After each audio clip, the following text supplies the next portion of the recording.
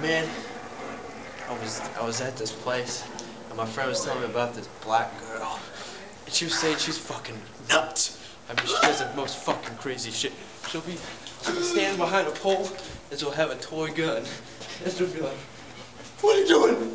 Boom, boom, boom, boom. And she walks around, she goes like that, and then other days she'll be screaming out till fucking 10 o'clock, and she'll have a fucking fishing pole, and then she'll get a hook, driving by, she fucking it at you.